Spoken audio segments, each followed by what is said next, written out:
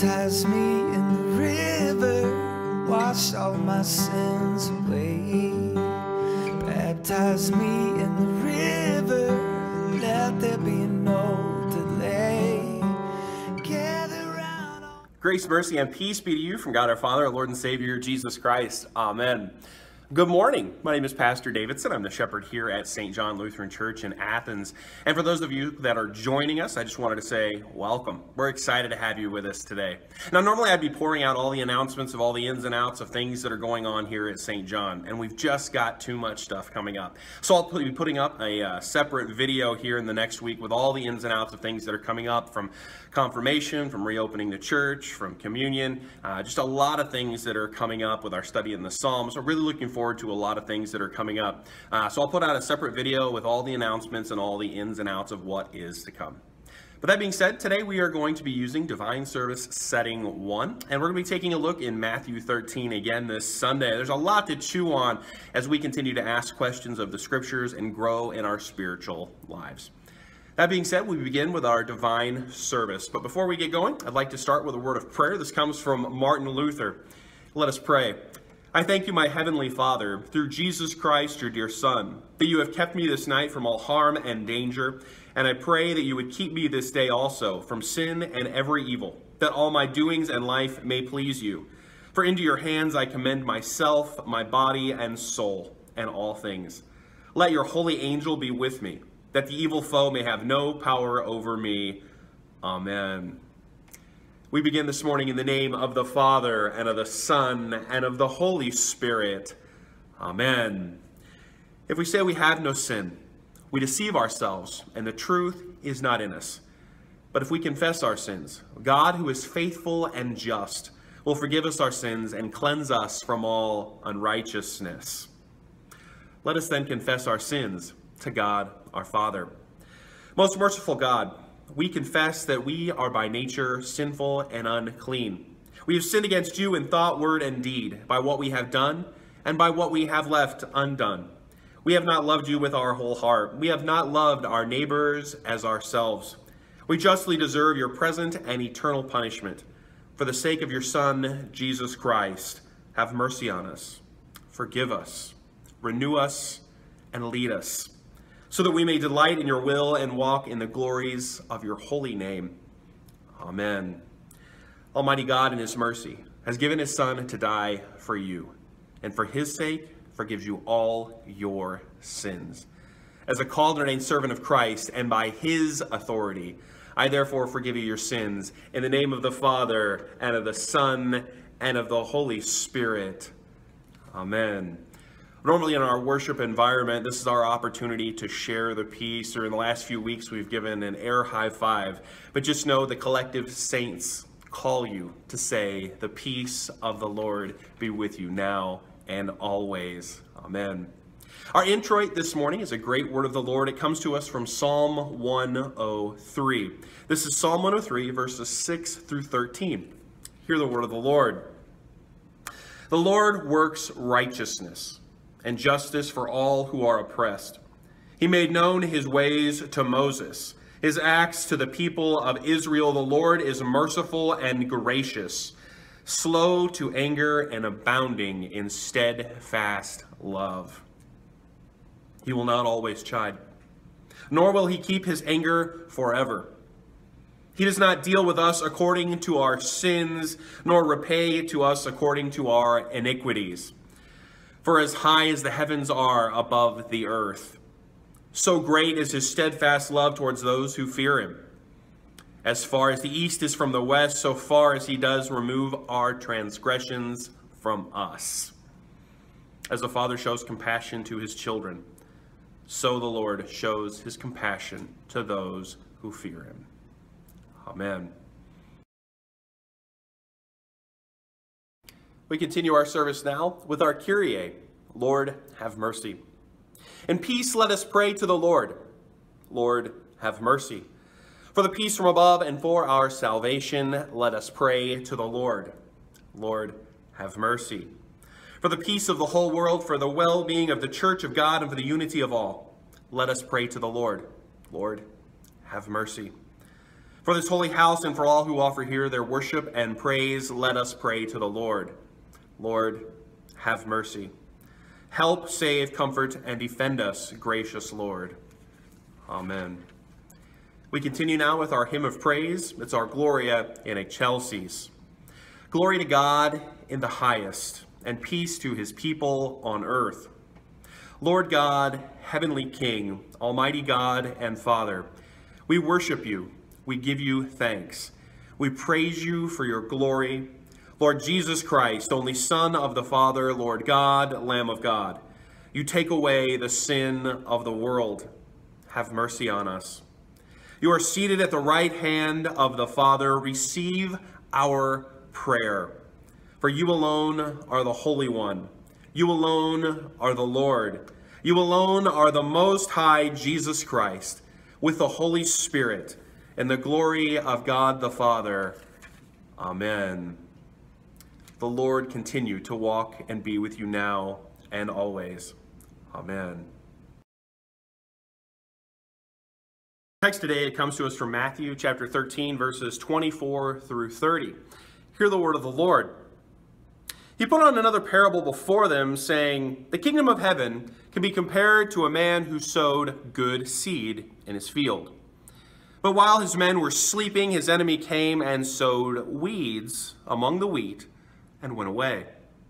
So when the plants came up and bore grain, when the weeds appeared also, and the servants of the master of the house came and said to him, Master, did you not sow good seed in your field? How then does it have weeds? And he said to them, An enemy has done this. So the servants said to him, Then do you want us to go and gather them? But he said, No. Lest in the gathering the weeds you root up, the wheat along with them. Let both grow together until the harvest. And at harvest time I will tell the reapers, Gather the weeds first, and bind them in bundles to be burned, but gather the wheat into my barn. This is the gospel of the Lord. Before we get into the text today, let's have a word of prayer. Blessed Father, Son, and Holy Spirit, I thank you today for gathering us together in spirit and in truth to hear your word. I ask that you would guide us, grow us, send your little words of faith into our lives on a daily basis to strengthen us as we grow into the image of your Son, Jesus Christ. Allow us to live not in the death, but in the resurrection Allow the old things to fall away and show us the new mercies that come from your hand. I ask that my words would be yours, that your spirit of truth would grow within each and every one of us. Guide us, Heavenly Father, today. May the words of my mouth and the meditations of the hearts gathered be focused on you and you alone, O Lord, and be pleasing in your sight. And in Jesus' name, all God's people said, Amen and Amen. What seeds are you sowing? Like, what, what are the little things that you're doing in your life to grow your faith? And more importantly, to grow the faith of those around you. Like if we had to dissect your life, like like ninth grade biology. Remember when you got like the frog and you had to cut it up into little pieces and, and you had to open the whole thing up and put little like toothpicks with labels on it? Like if we looked at your life, if we dissected your daily life, where's Jesus? Like, what seeds are in there? What little things are you doing to grow your faith and to grow the faith of others? Like, what are you doing to make more and better disciples in your daily life? And I don't just mean be nice to people. Yes, that's part of it. Kindness, yes. However, but are you telling them about Jesus? Are you growing in your faith in that process? Or are you still a spiritual infant, scared to say anything? Are you willing to get your hands dirty, get in there and, and start labeling things and seeing where you've fallen short of the glory of God and where God is growing within you so that you can continue to flourish? What seeds are you dropping? What little things are you doing? You see, too often we want the harvest, but we don't want to do the work. We want to see all the, the beautiful blessings of God, but we don't want to drop the little seeds and nurture those little seeds and take care of those little seeds. Put our time in those seeds, put our money in those seeds, put our energy in those seeds to grow Christ's church, to preach the gospel. We don't want to do all those things. We just want the good stuff. Give me Jesus. Well, there's a little bit of work that goes into that. You got to read the book. You got to support the church. You got to do what Jesus asks of you. Go and do likewise. Jesus tells Peter, You go feed my sheep. Like it takes spiritual maturity in dropping those seeds. And today we're going to dissect some of this. We're going to ask ourselves, what little things are we doing? Because the culture, when they see the church, they don't see the little things that we're doing. I'm sure when the culture looked at God and taking a handful of dirt and breathing into it and creating man, the culture thinks, oh, that's just some weird story. When in reality, that's faith being created. That, that's creation itself being created. That's God doing something amazing. But they don't see the little seed that God just took a handful of dirt and made man. I'm sure the Egyptian Empire, when they saw that old man Moses walking in with his stick, thought, oh, great. Yeah, he's really going to. They didn't think too much of that seed that God sowed in the person of Moses. They probably laughed until that old man showed him the power of God and all of a sudden the Egyptians failed. But that started with a little seed of faith. I'm sure when Goliath saw that little boy David walking in, the kid couldn't even put on his father's armor. He couldn't even come in. All he could carry with him was a sling and a handful of stones. They probably laughed and mocked him. Where are the real warriors of your tribe, O Israel? but they didn't see the seed that God was planting in the person of David with a hand full of stones. It's amazing what God can do with something so small and create the kingdom of God. You know, I, I wonder, like, did the people who saw the birth of Jesus, did the Roman Empire, like, like they saw something, they didn't know what it was, but they probably didn't realize that it was going to come through an infant and it was going to be found in a stable. And it's this seed uh, uh, of God planting his very son into our world in flesh. And the world mocked it, tried to stop it. And even God shows his glory through the heavenly host to see this seed being planted into the world to be grown into the kingdom, into God made flesh. I'm sure the world didn't look at the apostles as being God's work, doing something simple. Oh, there's an old tax collector and some old filthy fisherman. Oh, look, there's that zealot. I bet he's going to start a fight again. They didn't realize that God was using them as seeds to start a kingdom movement. I'm sure that crowd, when that little boy walked in with some fish and a couple of loaves of bread, probably mocked and laughed because they didn't see what God was going to do with something small to create a kingdom movement so that the gospel could be preached. Too often in our lives, we don't count the blessings of the little things that God gives us, and more so, the things that God has planned for us to do with them. This idea of sowing a seed and I'm not just talking about money. This isn't one of those, uh, all the church wants is your money sermons. Uh, you guys know, top 10%, that's that. I'm talking about your heart here. Like the little things that God has given you that have moved you into a kingdom movement. Through the word that is preached and proclaimed, what it means to feel and know and trust the forgiveness of sins. And if you don't hear it today, God loves you. Let me throw some seeds at you. You are forgiven. You are a part of the family of God. Yes, you are. There's some seeds. But too often we just don't see what those seeds are like. And today in Matthew's text, Matthew 13, we see the seeds being dropped. He says this, and this is Matthew 13, verses 24 through 30. He says, He put another parable before them, this group that was gathered, saying, The kingdom of heaven may be compared to a man who sowed good seed in the field. Like I just told you a second, and this is an important point, write this down. God sows good seeds.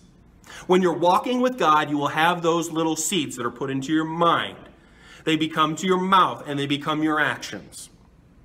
and you look around, there are seeds. Wherever you're at right now watching this, look around. There is a good seed that God has given you. Now, it might not look good. you know that old beater that's parked out front, it doesn't drive too great. Well, guess what? You have one. You're still in the top 1% of the world considered rich because you even have it in your driveway. Well, the car's not working. Well, you can hear me preach, right? You have your hearing. That's a little seed. Listening can be one of the greatest gifts we have.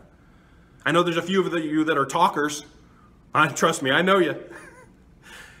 that can be one of the greatest gifts, the gifts of gab. Just ask St. Peter having those little seeds around you. God sows good seeds. The problem is a lot of times when we have good seeds, we don't do anything with them. We just like to consume them. Oh, that looks good. That looks good. You know, it's kind of like Adam and Eve with, with the fruit, like, oh, it's pleasing to my eye. You know, we want those good things. But it says this in the text, this is verse 25. But while his men were sleeping, the enemy came and sowed weeds among the wheat and went away. You see, we have all these seeds and we consume them and we consume them and we consume them until we become spiritually fat. And I don't know if any of you have ever seen kids, but when they're hungry, the best thing you can do is just give them milk. Because after you give them enough milk, guess what happens? they get milk drunk. And what do they do? You see, we consume and we consume and we consume and we consume all the things around us until we just get spiritually fat. It's the same thing with the church. Like we, we, we learn scripture, we learn, we learn, we learn, we memorize, but we don't use. We don't give. We don't sow more seeds. We're too busy collecting them for ourselves. And as Paul says, we've got to get off the spiritual milk and move towards spiritual meat. We have to grow in our faith because when we're stuck sleeping, when we're spiritually fat, that's when the devil comes in. Sin, death, and the devil, to use Lutheran terminology. And we ask God, keep away the weeds. I don't want to just be spiritually fat. I want to sit and I want to learn, but I want to grow by doing. Go and do likewise. As Jesus told Peter, you go feed my sheep he says this, and this is uh, verse 26. So when the plants came up and bore grain, the weeds appeared also. Obviously, you were asleep. We were asleep. We are sinners. We fall short. And the servants of the masters of the house came and said to him, Master, did you not sow good seed in your field? Doesn't it have any weeds? Like when we don't see instant gratification, well, Pastor, I hear you saying God makes good seeds and I'm using them and I'm doing it and we don't see instant gratification, the first thing we do is blame God. Be still and know. Give it some time and some prayer. Nowhere did Jesus say, I will answer your prayer the way you want it immediately. That's not how this works. He's working behind the scenes. Likewise, the Holy Spirit operates with words that are beyond our comprehension. God is at work. His word does not return void, is what the scriptures say. But also, his words are not like ours. We think we've got it figured out. God laughs at that. It actually says that. The wisdom of God is folly to man. But instead, what we need to ask ourselves is are we blaming God or do we just need to give it some time? Give it some prayer. Put in the work. The seed has been sowed. Maybe it's time for us to get our nail pierced hands dirty like Jesus. But instead, we're too quick to blame God because we didn't get instant results. When we know ourselves that we're not doing what we should do, the things that we've done, the things that we've left undone, that thing that we read earlier in the service from 1 John 1, we fall short, yet we blame God for not giving results. You know, it's like that story I read a while back. There was this, this thief, right? And he's on the roof of this house trying to break in, and he falls through the skylight, and he falls through the skylight above the kitchen, and he falls on a kitchen knife. What does he do? He sues the homeowner. Like, you, you, you got to be kidding me, right? Like, you're doing the wrong thing and you're blaming someone else. Don't blame God, the keeper of the house, the master of the house. Like you're the one. Instead of complaining about the little things, now this is important, write this down. Instead of complaining about the little things, thank God for what you do have. Because we've all fallen short. We've all been thieves. Thank God you still have your life. Thank God you still have your breath.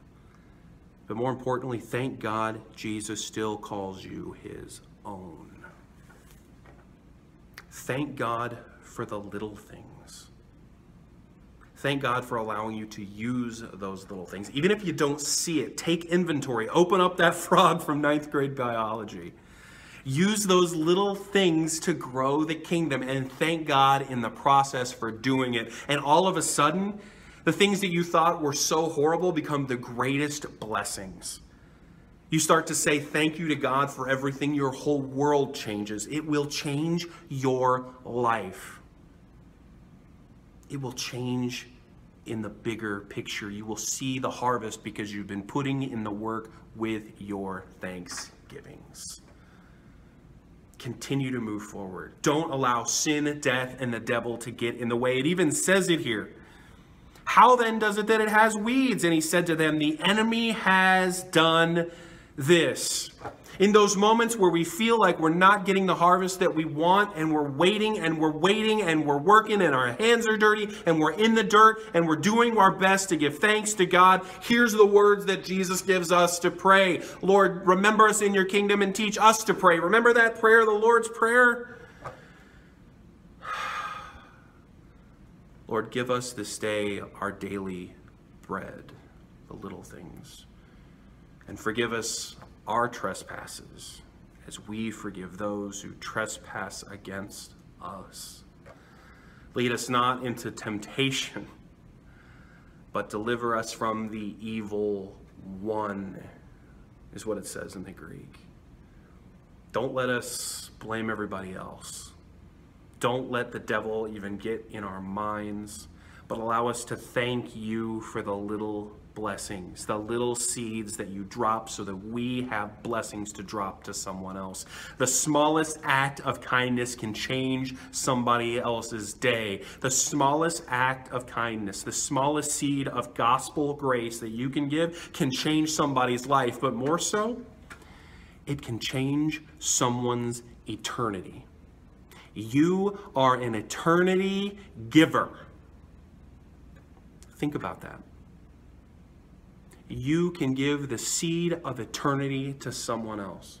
One act of kindness, one act of patience, one act of the fruits of the Spirit that you can give to someone else can give eternity to someone else. Now, if you want to know about power and what God can do, the greatest miracle God ever worked, more than the Egyptians, more than David, more than any of that stuff I talked about, was eternity that he gave freely on the cross.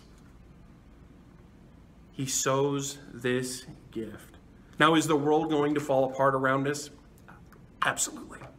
There is chaos. We all, we all know this all too well but we're still given those seeds to invest in someone else, to invest in his church, to invest in the proclamation of the gospel, to invest in patience and kindness and love towards one another. And we start to learn this as he says this in verse 29 and following. But he sow, nest in the gathering of the weeds, root up the weed along with them.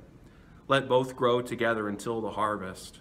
And at the harvest time I will tell the reapers, Gather the weeds first and bind them in bundles to be burned, but gather the wheat into my barn. You see, let's be honest about it. There were two sinners on the side of Jesus at the cross. One was a seed, and one was a weed. To the weed, we know what happened. It was burned. But to the seed, to you and to me and to the ones who are hearing my voice and to the ones that have not yet heard you that will hear you this week. Jesus says to you, Today you will be with me in my kingdom, so that you can give eternity to someone else, so that you can give that seed of forgiveness to someone else. May that God of grace continue to use you as you dissect your life to give thanks to the little things and to give that blessing to someone else, to continue to grow you into His image. May He walk with you now and always. And in Jesus' name, all God's people said, Amen and Amen.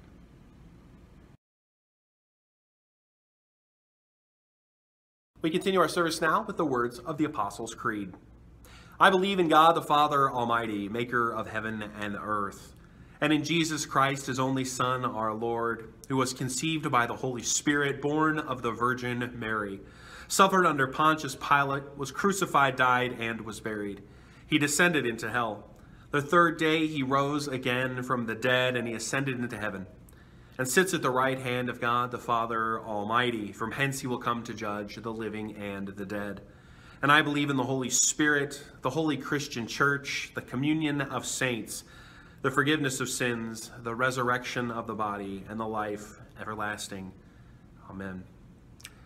Today we come before the Lord with many prayers on our hearts and on our minds. Church, let us pray. Blessed Father, Son, and Holy Spirit, Today, there are many who grieve and many who mourn.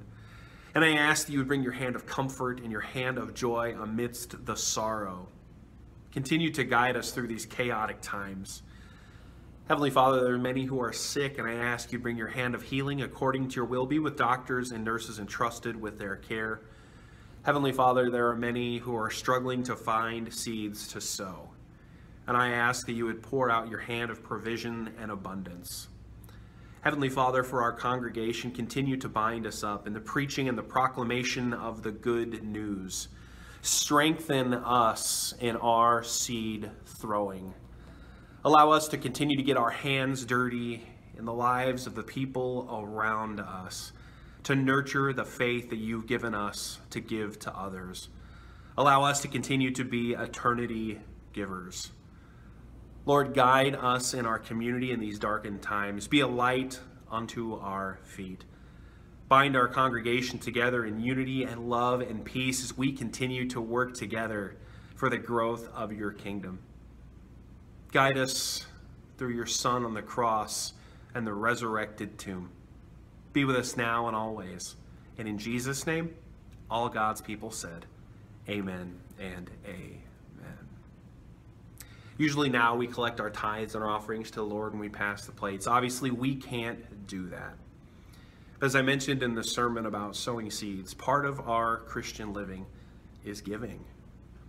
You know, the word says top 10%. We give the same in all relationships that matter to us. The same is with our Lord Jesus Christ. I ask that you would continue to be faithful and fruitful givers to remember God in all things. The proclamation of his gospel and his church must continue. If you're a technology person, check out the tithe.ly app. St. John Lutheran Church is on there. That's a way of giving.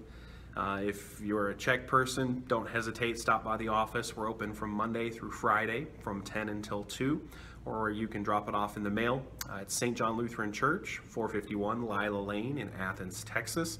Uh, there's other some also some other ways of giving. Uh, please don't hesitate to contact the office during office hours, uh, and they can set you up on those different ways of doing it. So I ask you to continue to be fruitful givers, as the Lord says, "Trust me in these things, test me in these things." We continue now with the words that our Lord taught us to pray. Our Father, who art in heaven, hallowed be thy name. Thy kingdom come, thy will be done on earth as it is in heaven.